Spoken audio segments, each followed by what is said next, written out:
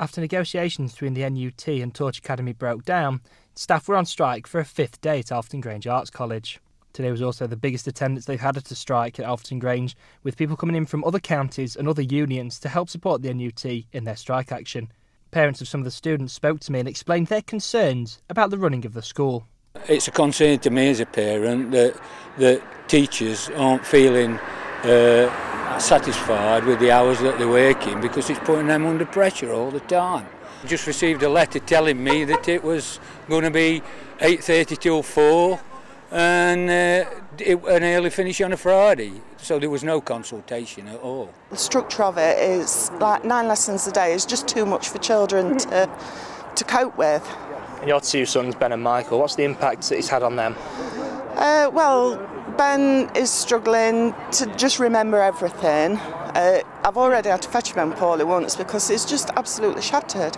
We've got uh, we've got lots of NUT members in Torch academies, and we see similar things there. But what's good here is the teachers have said, you know, enough is enough with this. And to, today on the picket line, what's great is that we've got students, parents, other trade unionists from the TUC, from other unions like the PCS and Unison here supporting us, and that's important. That shows you the sort of strength of feeling that exists about the way teachers and really students are being treated. Because you see a lot of students here saying that the nine-period day doesn't work, and they're quite right. It doesn't work. You get into a lesson and you've got no time to do the work that you need to do to for your GCSE. Times, how long your lesson is, the stuff that's going on in school. What kind of impact's that having on your studies?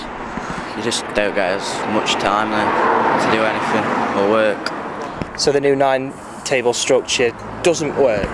No, not really. Is there any positives that Torch brought to the school? No, none. None at all.